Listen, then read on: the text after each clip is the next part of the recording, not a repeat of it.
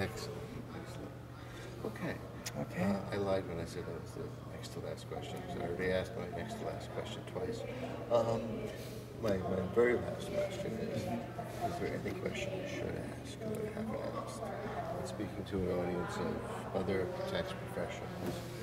Uh, what can we tell them about what we've learned about how to run a business? business? What can we tell them? And for me, that would be how did my tax season go?